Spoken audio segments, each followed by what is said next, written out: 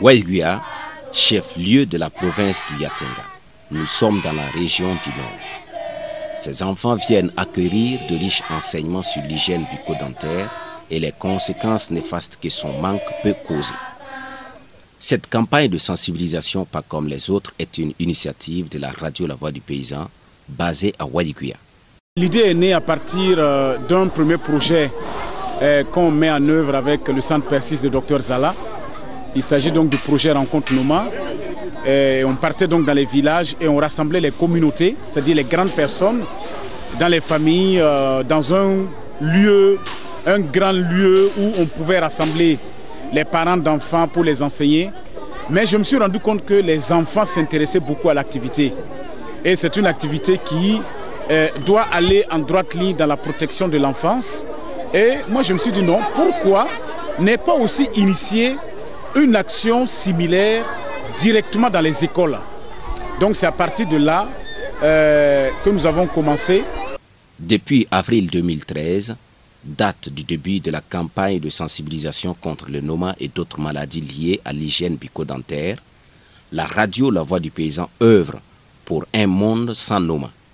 Et cela par l'éducation, l'information, la sensibilisation et la conscientisation. C'est vraiment un appui que la Voix du Paysan est venue nous donner. Vraiment, on n'a jamais eu ce soutien-là. Et je sais que euh, les élèves s'en souviendront pendant longtemps. Et je suis sûr aussi qu'ils vont respecter les conseils et les habitudes qu'ils ont inculquées en si peu de temps. C'est vraiment, on remercie beaucoup la voix du paysan et ce sont ces sortes d'actions-là qu'on doit louer et glorifier. Avec l'appui technique et financier du NOMA Ilfes Weiss, dans le cadre du projet d'éducation et de sensibilisation sur l'hygiène bucco-dentaire et lutte contre le NOMA dans les écoles primaires au Burkina Faso, les enfants de 15 écoles primaires sont sensibilisés sur l'hygiène bucco-dentaire et le NOMA à travers des représentations théâtrales, des jeux, concours et émissions radiophoniques réalisées et diffusées par la radio La Voix du Paysan, la formation de 60 associations, des parents d'élèves et 15 directeurs d'école, des remises de livres et d'affiches aux écoles dans le cadre de la prévention. Et avec euh, euh, l'ONG Noma Ilfes Weiss, on a discuté, on a échangé et ils ont accepté donc d'accompagner euh, cette activité qui nous permet d'aller dans les écoles du Burkina pour pouvoir sensibiliser donc les enfants directement sur comment prendre en charge, comment entretenir sa bouche, de retour aussi à la maison, comment transmettre le message aux parents, à maman qui a de petits-enfants. Donc c'est des choses comme ça que nous essayons d'enseigner aux enfants. Et on essaie de toucher en fait l'hygiène de façon générale. À travers l'hygiène bucco-dentaire, la maladie du Noma, on essaie de toucher également l'hygiène de façon générale euh, dans les écoles.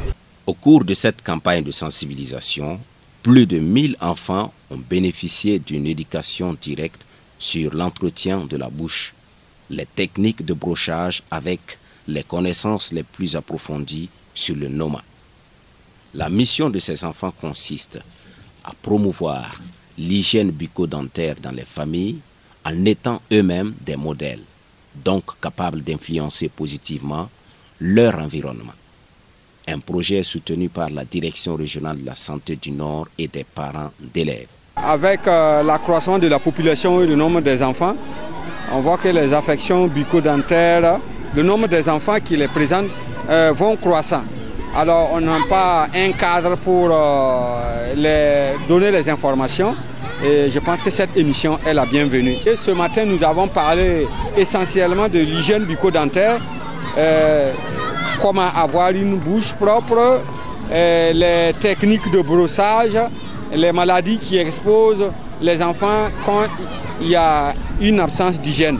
Et nous avons parlé du NOMA, voilà, qui est une affection qui est très rare et qui, ces derniers temps, refait résurgence. Donc nous avons profité de donner des informations sur le NOMA, qu'est-ce que c'est, où est-ce que ça commence? Et je pense que c'est ça aussi qui participe à l'éducation. je m'occupe de la santé des élèves au niveau du district. Donc je suis en train de vérifier l'intérêt des, des bouches pour voir s'il n'y a pas de problème de dents.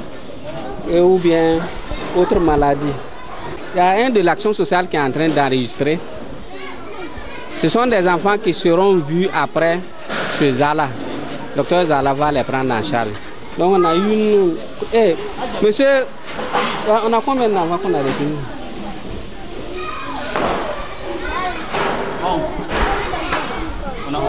Voilà, donc on a retenu 11 enfants d'abord, mais on n'a pas fini. On continue à regarder. Donc, euh, moi, c'est la, la carie. C'est la carie dentaire très avancée. Il y a d'autres qui ont... Tout, toutes les dents là sont presque parties.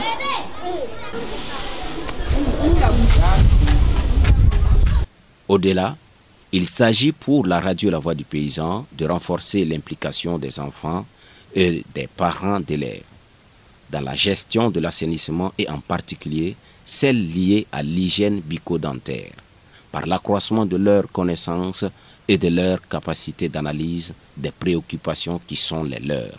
Je vais inviter les parents et les enfants de bien pouvoir respecter ce qu'on leur a enseigné, ce qu'ils ont vu, ce qu'on les a conseillé, donc à respecter les conseils. Mais pour la radio La Voix du Paysan, même si on peut parler de satisfaction, le but n'est pas encore atteint.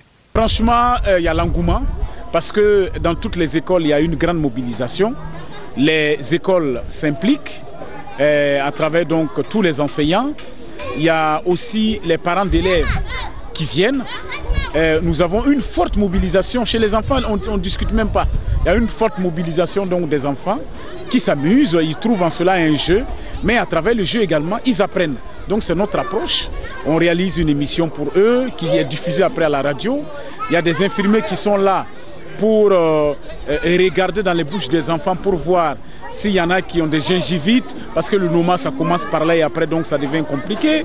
S'il y en a qui ont des caries dentaires avancées, s'il y en a qui ont en, gros des, infections euh, de la bouche, des maladies de la bouche, ces enfants sont recensés et après on voit s'il y a la possibilité de les prendre en charge, ben, on, essaie de les prendre en charge. Donc c'est ce qu'on fait.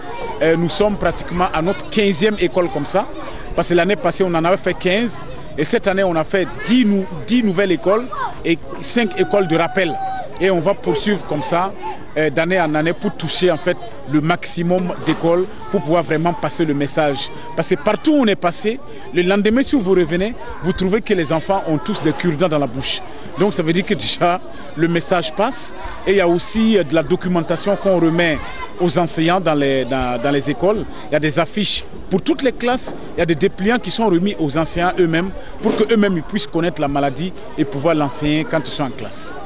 Maintenant, l'autre côté, c'est de voir en fait pour la prise en charge des cas que nous, allons, euh, que nous avons recensés. C'est ça en fait la grande difficulté, c'est comment prendre en charge ces enfants-là, comment les soigner véritablement. Parce que l'année passée, on les a recensés, mais au centre Persis, on s'est rendu compte qu'il fallait de l'argent pour les consommables, pour prendre en charge les médecins traitants, les infirmiers traitants. Et là, on n'avait pas ces moyens à disposition. Donc ça devient un peu difficile. Il y a des enfants qu'on recense qui sont malades et qui doivent être pris en charge. Donc c'est ce volet-là qu'on doit compléter pour avoir vraiment euh, un programme assez complet. À l'instar de plusieurs pays d'Afrique, le Burkina connaît une crise de l'assainissement, surtout dans la région du Nord. Le Noma, les gingivites, la carie dentaire et la mauvaise haleine ne sont que des exemples du phénomène. En complément des centres de santé et pour cultiver le sens de la propriété chez les populations, la radio La Voix du Paysan, en tant que structure d'information, mène un travail de sensibilisation. Et désormais, elle veut et peut compter sur ses enfants, reflet d'une citoyenneté pleine et responsable. Je remercie la voix du paysan. J'ai appris à poser les, les questions aux candidats. Je les tiens qu'on devrait brosser les dents après chaque repas et avant de se coucher. Qu'est-ce que tu vas faire avec tes autres camarades? Je vais leur dire de se brosser les dents chaque jour, trois fois. Ok. Touré Jelika, classe école J'ai appris comment se brosser les dents Et puis la propriété du corps, des dents et des vêtements. On nous a parlé du noma, de la carie dentaire et de la gingivite. On nous a dit que le noma attrape 2 à 6 ans et que c'est une maladie qui tue. Il faut se brosser les dents chaque jour après chaque repas.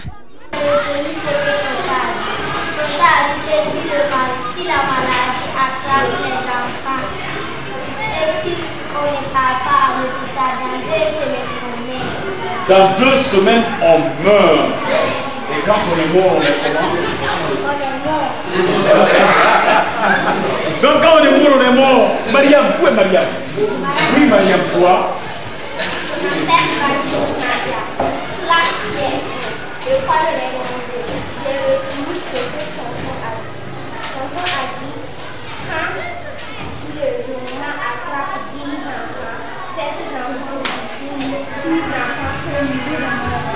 Tout ça, c'est la mort.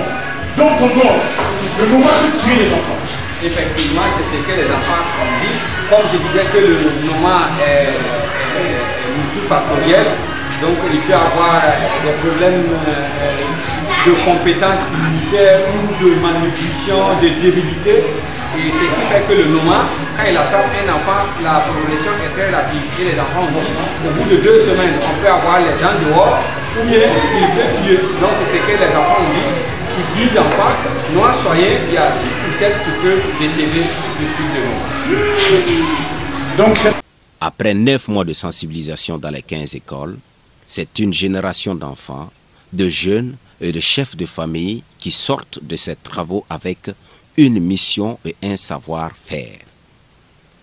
Prêcher l'hygiène bucco-dentaire, corporelle et environnementale dans toutes les contrées de la région du Nord et de la province du Yatenga en particulier, en notant d'abord des bougies à la lumière desquelles leurs camarades et leurs proches pourront marcher. Des bougies allumées tout au long des chantiers de l'hygiène partout dans le grand nord du Burkina Faso. Dis, animatrice. À quel moment faut-il laver les mains? Kaya, est-ce une question facile ou une question difficile? Hein? À quel moment il faut se laver les mains? Il faut se laver les mains avant de manger. Et puis, si, quand on rentre dans les WC, si on sort, on lave les mains. Avec du savon. Et de l'eau propre.